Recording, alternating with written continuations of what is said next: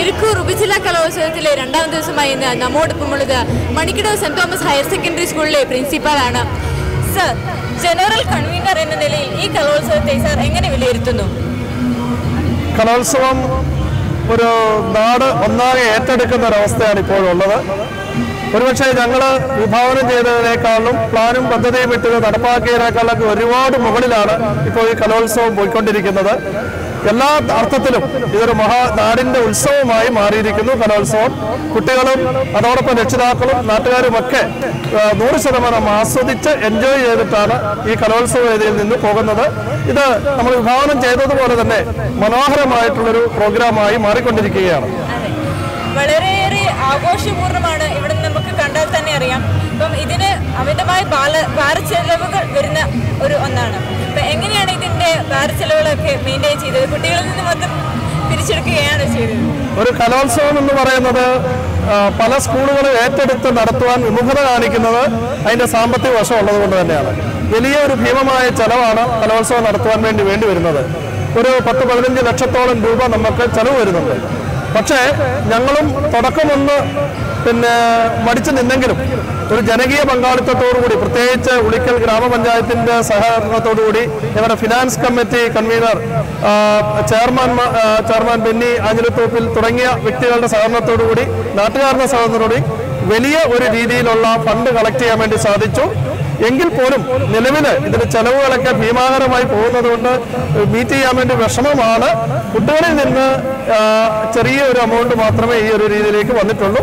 ബഹുജനങ്ങളിൽ നിന്നൊക്കെയുള്ള കളക്ഷനാണ് ഈ കലോത്സവത്തിന്റെ ചെലവിന്റെ മുഖ്യ ആധാരം. കലോത്സവം എന്ന് പറയുമ്പോൾ അതൊരു ഇമോഷൻ ആണല്ലേ? അപ്പം സാറിന് കലോത്സവത്തെ പറ്റി പറയുമ്പോൾ എന്താ പറയാൻ തോന്നുന്നത്? കലോത്സവം ശരിക്കും ഒരു വിദ്യാലയത്തിലെ ഒരു നാട്ടിലെ കലോത്സവങ്ങൾ ഒരു സ്കൂളുകളെ തമ്മിൽ അടുപ്പിക്കുന്നു വിദ്യാർത്ഥികളെ തമ്മിൽ അടുപ്പിക്കുന്നു. പഠനം മാത്രമല്ല ഒരു വിദ്യാർത്ഥിയുടെ ജീവിത വിജയത്തിന് ആധാരം. അവന് മനസ്സിൽ കലയുണ്ടാകണം. കലാപരമായിരിക്കണം നമ്മുടെ ഓരോ ജീവിതം. ഒരു വാഴപ്പഴം കഴിക്കുന്നതിൽ വലിയ ഒരു കലയുണ്ട്. ഒരുപക്ഷെ അതിന്റെ തൊലിയെല്ലാം ഉരിഞ്ഞ് നഗ്നമായ പഴം കയ്യിൽ പിടിച്ച് നമുക്ക് കാടൻ കക്ഷി കാടന്മാർ കഴിക്കുന്നത് പോലെ കഴിക്കാം. പക്ഷെ കലാപരമായി തൊലിയൊക്കെ ക്രമേണ കുറച്ച് ഉരിഞ്ഞ് അതിന്റെ തൊലി ഉള്ള ഭാഗം കയ്യിൽ പിടിച്ച് ബാക്കി നമുക്ക് കഴിക്കാം. കല ജീവിതവുമായി ബന്ധപ്പെട്ട ഒരു വസ്തുവാണ്. കൂടുതൽ കലാകാരന്മാരെ സൃഷ്ടിക്കുകയും കലാപരമായിട്ടുള്ള ഒരു മൂല്യം ഈ സമൂഹത്തിന് പകർന്നു കൊടുക്കുകയും ചെയ്യുക എന്നൊരു കലോത്സവത്തിന്റെ ആത്യന്തിക ലക്ഷ്യമാണ്. ഈ കലോത്സവം എല്ലാ അർത്ഥത്തിലും ഒരു മനോഹരമായിട്ടുള്ള ഒരു അനുഭവമായി വിദ്യാർത്ഥികൾക്ക് മാറിക്കൊണ്ടിരിക്കുന്ന ഒരു കാഴ്ചയാണ് ഇപ്പോൾ നമുക്ക് കാണാൻ സാധിക്കുന്നത്. ജനറൽ കൺവീനർ എന്ന നിലയിൽ പല പല കമ്മിറ്റികൾ ഈ കലോത്സവത്തിന്റെ പിന്നിലുണ്ട്. എങ്ങനെയാണ് ആ കമ്മിറ്റികൾ ഇപ്പോൾ മനോഹരമായി പോകുന്നത്? എടുത്തു പറയത്തക്ക ഒരു കാര്യം എല്ലാ കമ്മിറ്റികളുടെയും സഹകരണമാണ്. പതിനാലോളം കമ്മിറ്റികൾ സബ് കമ്മിറ്റികൾ ഈ കലോത്സവത്തിനുണ്ട്. ഭക്ഷണ committee programme committee reception committee. ഒന്നിനൊന്നിന് മികച്ച രീതിയിലാണ് എല്ലാ കമ്മിറ്റികളും ഇവിടെ പ്രവർത്തനങ്ങൾ നടത്തുന്നത്. ഒരു പഴുത് പോലും ഒരു കമ്മിറ്റിക്കും ഇല്ല. കലോത്സവം രണ്ട് ദിവസം പിന്നിട്ടിട്ട് അപ്പീലായിട്ട് പോലും ഒരെണ്ണം മാത്രമാണ് ഒരൈറ്റത്തിന് ഒരു കുട്ടി മാത്രമാണ് ഇതുവരെ അപ്പീൽ പോലും ഇതുവരെ വന്നത്. മികച്ച ജഡ്ജസ് തന്നെയാണ് ഞങ്ങൾ വെച്ചിട്ടുള്ളത്. എല്ലാ അർത്ഥത്തിലും പഴുതറ്റ രീതിയിൽ കുറ്റമറ്റ രീതിയിലാണ് ഈ കലോത്സവം അണിയിച്ചൊരുക്കിയിരിക്കുന്നത്. സാറിന് കലോത്സവത്തിന് കുറെ ഒരുപാട് ചൈൽഡ്ഹുഡ് ഉണ്ട്. കാരണം കലോത്സവം സാറിന് ചൈൽഡ്ഹുഡിൽ നടന്ന എന്തെങ്കിലും ഒരു മെമ്മറീസ് നമ്മളായിട്ട് ഷെയർ ചെയ്യാൻ പറ്റും?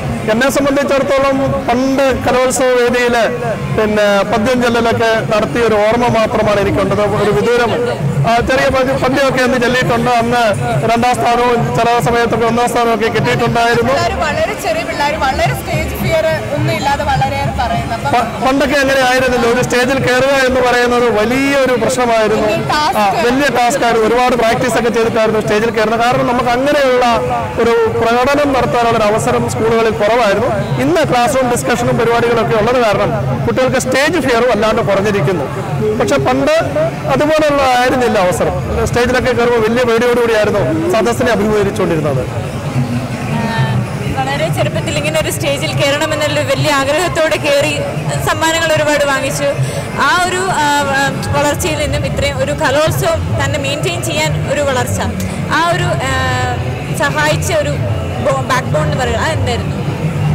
നമുക്ക് കാലാകാലങ്ങളിൽ നമ്മൾ പഠിച്ചു വളരുമ്പോൾ നേതൃപാഠവും സംഘാടക ശേഷിയും ഒക്കെ വരും. പിന്നെ നമ്മളിപ്പോൾ ഒരു സ്കൂളാണ്. സ്കൂളിന് അധ്യാപകരെല്ലാവരും സഹകരിക്കുന്നുണ്ട്. സ്കൂളാകുമ്പോൾ പൊതുജനങ്ങൾ ആത്മാർത്ഥമായിട്ട് സഹകരിക്കും. പ്രത്യേകിച്ച് പിന്നെ പഞ്ചായത്ത് ഭരണസമിതികളും ഭരണരംഗത്തുള്ളവരും ഒക്കെ ആ, നമ്മളൊരു പൊതുസ്ഥാപനം എന്ന രീതിയിൽ അവർ തരുന്ന സപ്പോർട്ടും നമുക്ക് തരുന്ന പിന്തുണയും നമുക്ക് വിലമതിക്കാൻ പറ്റത്തില്ല. അത്രമാത്രം പൊതുജനങ്ങളും ഭരണരംഗത്തുള്ളവരും നേതാക്കന്മാരും രാഷ്ട്രീയക്കാരും ഒക്കെ സ്കൂളിനെ നെഞ്ചോട് ചേർത്ത് കുട്ടികളുടെ ഒരു പ്രോഗ്രാം എന്ന് പറയുമ്പോൾ പൊതുജനങ്ങളുടെ സഹകരണം വലിയ രീതിയിലാണ് ഉണ്ടാകുന്നത്. അതും ഏകോപിപ്പിച്ച് കൊണ്ടുപോകുക എന്ന് മാത്രമാണ്. അതുകൊണ്ട് തന്നെ വലിയ പ്രശ്നങ്ങളില്ലാണ്ട് ഈ കലോത്സവം മുന്നോട്ട് പോകുന്നുണ്ട്. ലിസ്റ്റിൽ നൂറ്റി ഒൻപത് സ്കൂളുകളിൽ നിന്നാണ് ഈ കലോത്സവത്തിലേക്ക് ആളുകൾ എത്തിച്ചേരുന്നത്. അപ്പോൾ നേരത്തെ പ്ലാൻ ചെയ്ത പോലെ തന്നെയാണോ ഈ കലോത്സവം മുമ്പോട്ട് പോകുന്നത്? കുട്ടികളുടെ നേരത്തെ പ്ലാൻ ചെയ്തതുപോലെയേ അല്ല. ഞങ്ങളുടെ പ്ലാനിങ്ങിനും ഒക്കെ ഒരുപാട് ബിയോണ്ട് ആയിട്ടാണ് കാര്യങ്ങൾ പോകുന്നത്.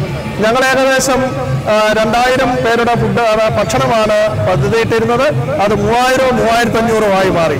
ഞങ്ങൾ ഇത്രയും ആൾക്കാരെ ഒരു വേദിയിലും സ്വപ്നം കണ്ടിരുന്നില്ല. പക്ഷെ വേദികളെല്ലാം തിങ്ങി നിറയുകയാണ്.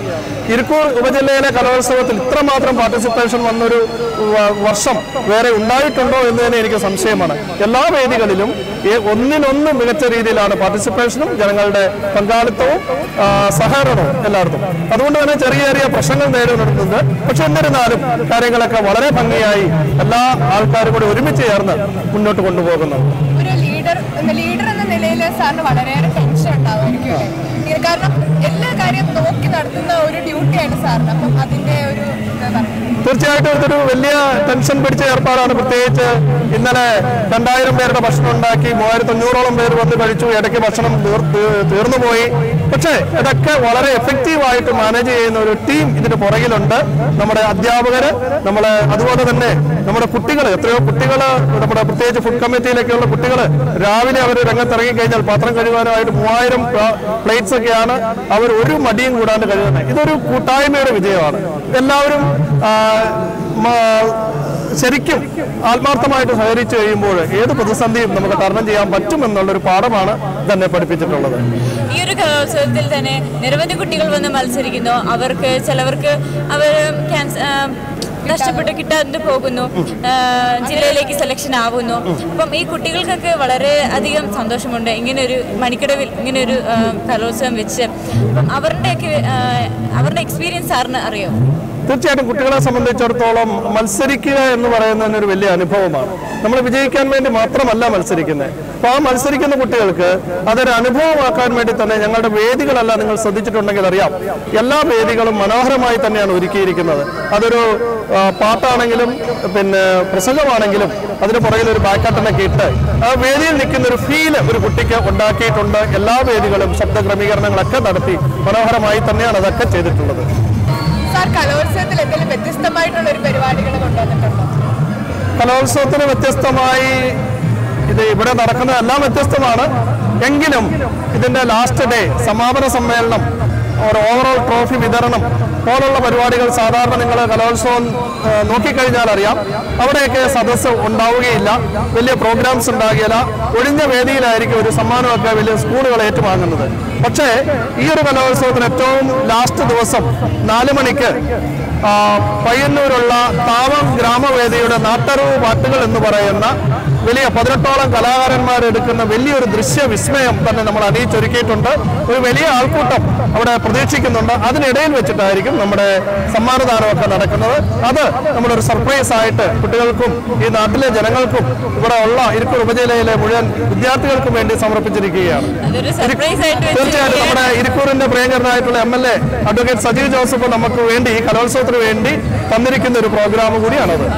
ഈ പന്ത്രണ്ട് വർഷങ്ങൾക്ക് ശേഷമാണ് മണിക്കടവിൽ വീണ്ടും ഒരു ഉപജില്ലാ കലോത്സവം വരുന്നത് അതിൽ പുതുമ എന്തെങ്കിലും പുതുമ പുതുമ? പ്രത്യേകമായിട്ട് നിങ്ങൾ ഇപ്പോൾ ഇരുന്ന് എന്നോട് ചോദിക്കുന്നത് തന്നെയാണ് ഇവിടെയുള്ള മീഡിയ ഐസ്ക്രീം അതുപോലെ തന്നെ പ്രഥമൻ എന്ന പേരിലുള്ള പത്രം നിങ്ങളുടെ വിഷ്വൽ മീഡിയ. ഇത് മറ്റെവിടെയും കാണാത്ത ഒരു പ്രോഗ്രാമാണ്. ഞാൻ സംസ്ഥാന കായിക മേളയിൽ ഒരു കൺവീനർ ആയിരുന്നു. അവിടെയും ഉണ്ടായിരുന്നു വിദ്യാർത്ഥികൾ പത്രലേഖകരൊക്കെ ആയി. പക്ഷെ അതിലൊക്കെ എത്രയോ മികച്ച രീതിയിലാണ് ഇവിടുത്തെ മീഡിയ പ്രവർത്തനങ്ങൾ നടക്കുന്നത്. കുട്ടികൾ റിപ്പോർട്ടേഴ്സായി വരുന്നു അവർ ചോദ്യം ചോദിക്കുന്നു അവർ ആങ്കറിംഗ് ചെയ്യുന്നു അവർ പത്രം പ്രിപ്പയർ ചെയ്യുന്നു. ഇവരെ അണിയിച്ചൊരുക്കാൻ വേണ്ടി ഇവിടെ മീഡിയ കമ്മിറ്റി നമ്മുടെ പ്രിയപ്പെട്ട വിനീത് സാറിന്റെ നേതൃത്വത്തിൽ മനോഹരമായിട്ട് പ്രവർത്തിക്കുന്നുണ്ട്. എനിക്ക് തോന്നുന്നു ഇത് കേരളത്തിലെ തന്നെ ഒരു ഉപജില്ലാ കലോത്സവ വേദികളിൽ ഏറ്റവും പ്രത്യേകമായി മാറ്റി നിർത്തുന്ന ഒരു ഈ കലോത്സവത്തെ മാറ്റി നിർത്തുന്ന ഇരിക്കൂർ ഉപജില്ലയെ മാറ്റി നിർത്തുന്ന ഒരു പ്രധാന കാരണമാണ് ഈ ഒരു മീഡിയ റൂം ഇവിടെ നടക്കുന്നത് എന്നുള്ളത്. കലോത്സവം മണിക്കടവിന്റെ മണ്ണിലാണ് നടക്കുന്നത് എന്ന് കേൾക്കുന്ന ആ ഒരു നിമിഷത്തെ സാറിന് ഫീലിംഗ് എന്തായിരുന്നു? കാരണം നമുക്ക് തന്നെ ഭയങ്കര പ്രൗഡാവും നമ്മുടെ സ്കൂളിലാണ് കലോത്സവം. സാറിന്റെ ഫീലിംഗ് എന്തായിരുന്നു? ആദ്യം മണിക്കടവിലേക്ക് ഈ കലോത്സവം വന്നു എന്ന് പറഞ്ഞപ്പോൾ വേണ്ട എന്നുള്ളതായിരുന്നു എന്റെ മനസ്സിലുണ്ടായിരുന്നത്. കാരണം ഞങ്ങളെ ഹയർ സെക്കൻഡറി വിദ്യാർത്ഥികൾക്ക് സെക്കൻഡ് ഇയർ പരീക്ഷയുണ്ട് പരീക്ഷ അറ്റൻഡ് ചെയ്യണം. അവരുടെ ഇമ്പ്രൂവ്മെന്റ് പരീക്ഷ ഉണ്ടായിരുന്നു. ഇതിന് വേണ്ടി വരുന്ന വമ്പിച്ച സാമ്പത്തിക ബാധ്യത ഇതൊക്കെ പിന്തിരിപ്പിക്കുകയായിരുന്നു മനസ്സ്. പക്ഷേ എങ്കിലും ഇത് നാട്ടിലെ നാടിനും ആ, കുട്ടികൾക്കും ഒക്കെ ഒരു ഉണർവാണ് വിദ്യാഭ്യാസം എന്ന് പറയുന്നത്. പുസ്തക താളുകളിലുള്ള പഠനം മാത്രമല്ല മറിച്ച് കുട്ടികളുടെ ഒരു ഓൾറൗണ്ട് ഡെവലപ്മെന്റ് ആണ്. അവരെ എല്ലാ രീതിയിലും ഇപ്പൊ നിങ്ങളെ പോലുള്ളവർക്ക് ഇതിനൊരു അവസരം കിട്ടുന്നത് ഇങ്ങനെ ഒരു കാര്യം ഉള്ളത് കൊണ്ട് തന്നെ.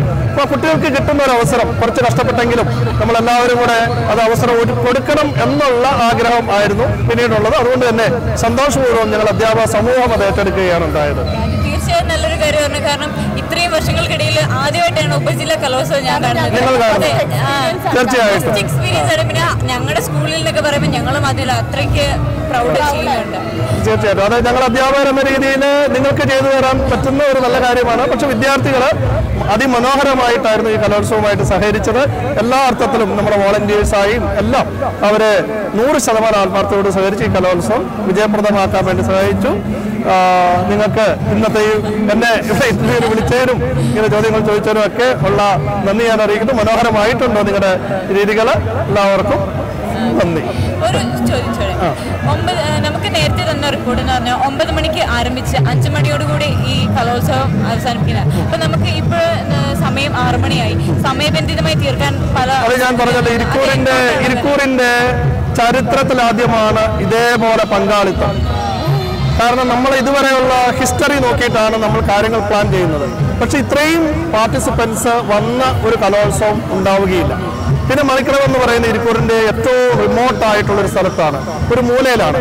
ഇപ്പം നമ്മൾ കൃത്യം ഒൻപത് മണിക്ക് മത്സരം സ്റ്റാർട്ട് ചെയ്യുക എന്ന് പറയുന്നത് പല സ്കൂളിലെ വിദ്യാർത്ഥികളെ സംബന്ധിച്ചിടത്തോളം വിഷമകരമായ ഒരു കാര്യമാണ്. അതുകൊണ്ട് സമയം കുറച്ച് മാറ്റി ചെയ്യേണ്ടി വരുന്നു. പിന്നെ പാർട്ടിസിപ്പൻസിന്റെ ഒരു കൂടുതലും. അതുകൊണ്ടൊക്കെയാണ് കുറച്ച് ലാഗ് ചെയ്തു പോയത്.